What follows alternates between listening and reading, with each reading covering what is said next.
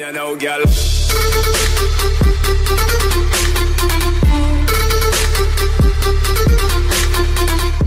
Trấn Thành cười ngất khi chị gái nhà nông bất ngờ khoe răng súng. Sự xuất hiện của thí sinh Lệ Thủy, một chị gái nhà nông chính hiệu trong thách thức danh hài, đã làm cho Trấn Thành và Trượng Giang thích thú.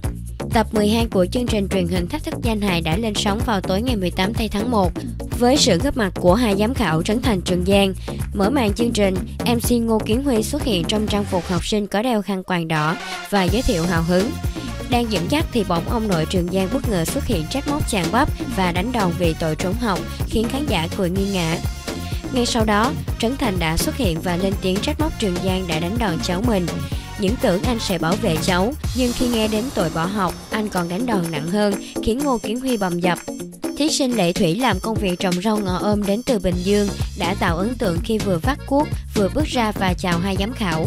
Chị tự giới thiệu mình là nhà nông chính hiệu, vừa vắt cuốc vừa hát rồi tiến đến bàn giám khảo tặng hai bó hoa sen, khiến Trấn Thành Trường Giang phấn khích. Ở vòng thi đầu tiên, thí sinh kể câu chuyện được mẹ dạy cho cách đón xe đi lên thành phố, rồi dẫn dắt đến đoạn chơi chữ tới tiệm sữa Honda, nhưng chị lại mua một ly sữa Honda, khiến Trấn Thành bật cười ủng hộ. Ở vòng thứ hai, chị vào vai quá phụ trách móc mẹ chồng đã căn dặn mình không được đi bước nữa. Trong khi con dâu cắn răng chịu đựng, thì mẹ chồng chị lại viện lý do đã hết răng nên được phép đi bước nữa. Nói đến đây, thí sinh bất ngờ nhai hàm răng đã bị mất mấy cái răng, khiến hai giám khảo ngạc nhiên thích thú. Trấn Thành khen rằng ý hài của câu chuyện chị kể có duyên, nhận được 10 triệu, thí sinh xin phép dừng cuộc chơi nhưng vẫn tặng thêm một bài hát với lời chúc ý nghĩa dành cho hai giám khảo Trường Giang và Trấn Thành. Xin chân thành cảm ơn các bạn đã dành chút thời gian để theo dõi kênh của chúng tôi.